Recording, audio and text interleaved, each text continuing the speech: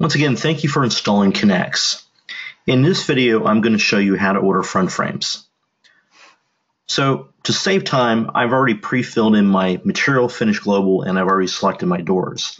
And now I'm down in the configuration for the front frame. So in here, you want to pick the, the inset or overlay selection. So if you're picking doors in your frames, you want to go ahead and pick one of the overlays. So on our the overlays are dedicated to our cabinet overlays, which are a quarter, half, inch and a quarter, inch and three eighths. And then we have the inset options, which would be just a regular inset. We have a quarter inch beaded, three eighth beaded, and then we have two special ones, an OG and a V bead. And you can also see that one of the configurations is to remove the doors completely. And in this situation, obviously, if I'm gonna, I'm just gonna pick doors, and I'm gonna go with what most people seem to go with. It's either inset or one of our, our usually they go with a full overlay inch and, inch and a quarter. Now, we have a few new tools in Connex that we didn't have in OrderLink with the overlays. And once I go into the frames, you'll see some of the new options, and I think you're going to like them. So I'm going to pick the inch and a quarter overlay, and I'm going to pick my material, frame material, and I'm going to say that's going to match the room, which is cherry. Now, if I wanted to, let me just back up here. If I wanted to, I can actually pick a completely different frame material than my doors. So, I mean, if I wanted to, I could go with like a, a walnut frame and I could keep my doors cherry. So my doors would follow the same global up here that's selected cherry, but I could actually pick a completely different material for my, my frame by selecting select a, a separate frame material. And if I do that, it's going to allow me to pick a completely different one, like I said, like walnut would be an example. So I'm going to leave it a cherry and drops down. You see it automatically defaults to finish frame, yes. Go to my thickness. I have my three choices, three quarter inch thick, seven eighths thick, or one inch. I'll go with three quarter. And it asks about grooves. Now, a lot of people who are just ordering frames are just probably going to pick no. The, um, the groove option really is meant for those who want the grooving to match our cabinet system. So that's the Advantage Essence grooves. I'm going to pick no for this example. And then you'll notice it, it drops down to uh, frame back sanding. It's not a force global, and you don't have to pick none. You can just leave it alone and leave it blank, which is what I usually do. So now what you're going to notice, things are a little bit different in here than OrderLink. In OrderLink, we had a, a little gray box you popped up, and it showed you a grid of all the frames.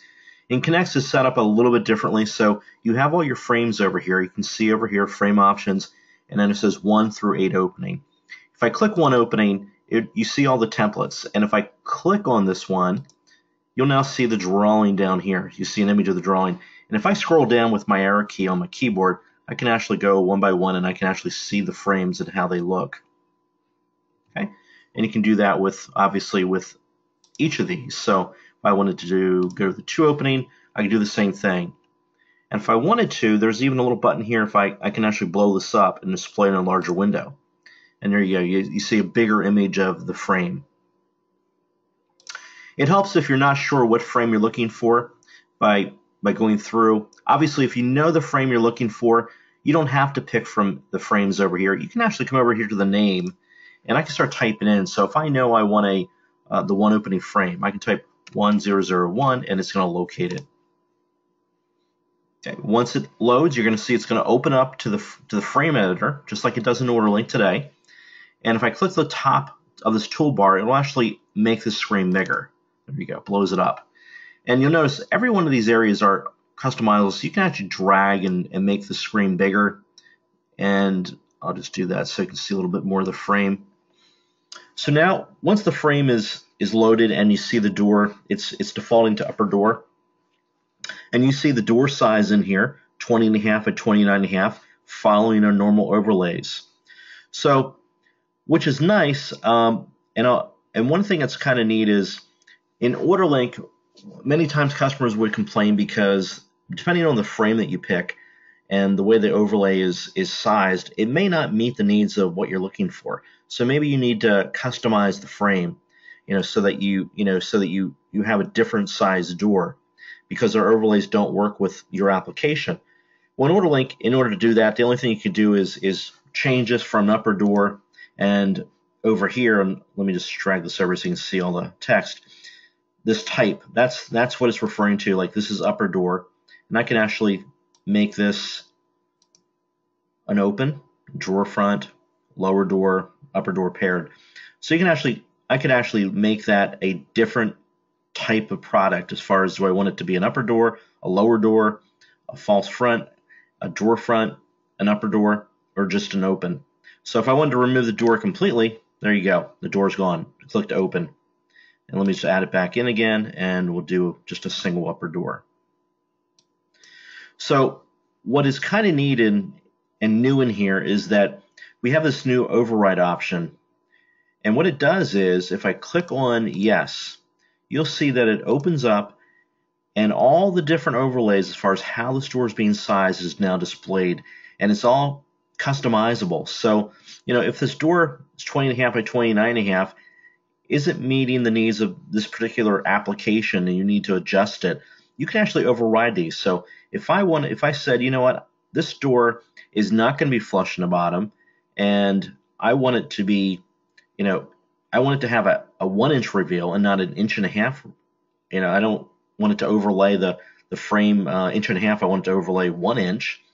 I click on that and I can change it from one and a half to one. Hit enter, and you'll see that you can see the image. It, it now adjusted the door showing on the frame, and you see the door drop by half an inch. So now instead of 29 and a half, it's now 29 inches. And you can do that in all the frames, which is really nice. So you can make adjustments. Um, you know, if you have a three opening frame and only one frame is adjust, and only you know one opening is adjusting, and and the overlay is adjusting, you can adjust it just for that single opening and make the changes just for that one opening. So that's kind of neat, and it eliminates the need to to to remove all the doors from the frames like we had to do in OrderLink and do them all separately. Click OK. And now you see that it pulls in 21 by 30 frame that I had selected. And it puts a little red triangle here. And if I hover over it, it'll show me the, the door that's attached to that frame. And it immediately pulls that door directly into the door section.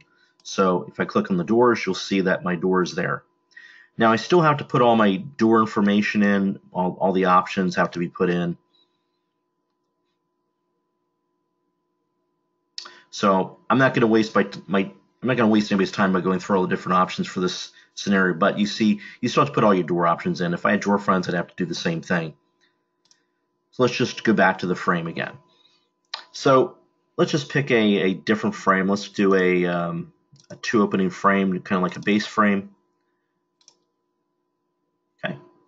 Shows me a door here, shows me a lower door here.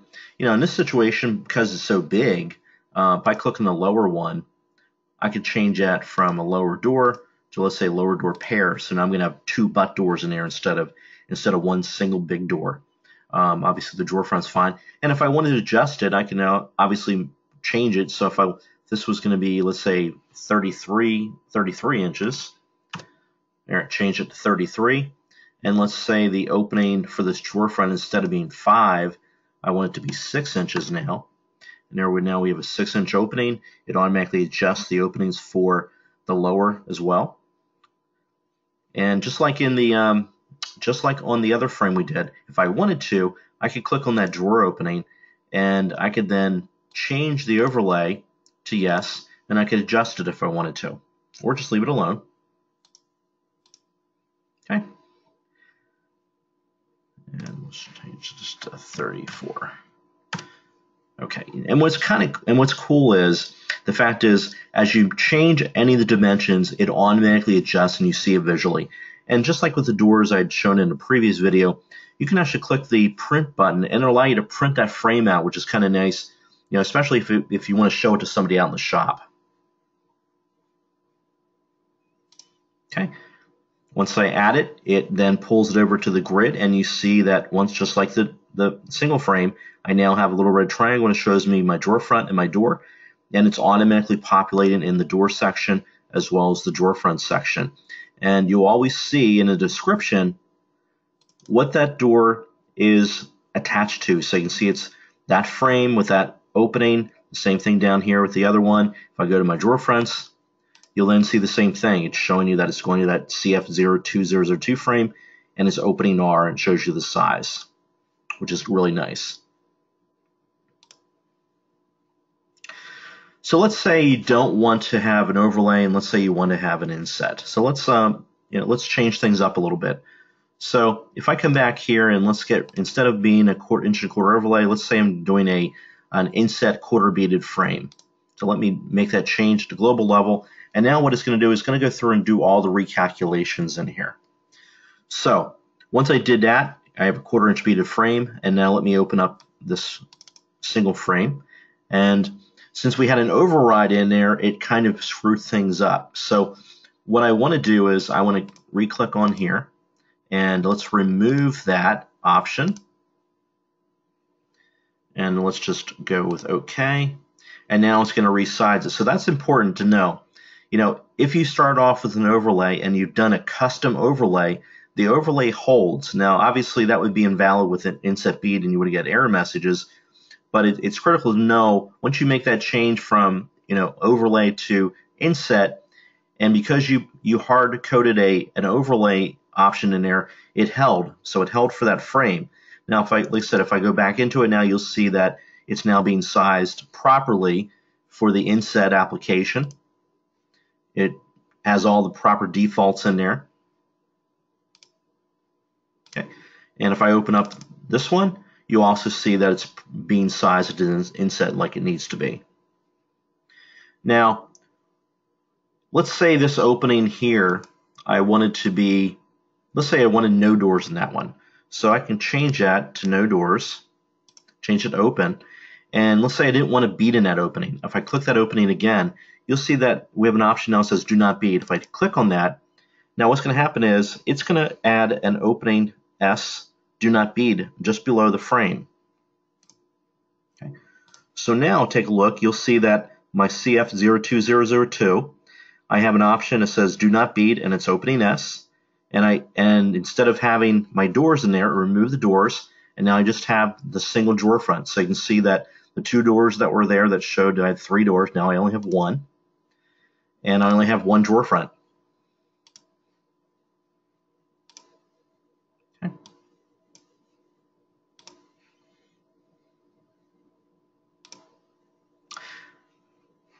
That is basically how to order front frames. And if you have any questions, obviously reach out to customer service. Contact myself at cgetz at conestogawood.com if you have any further questions, and we can help you out.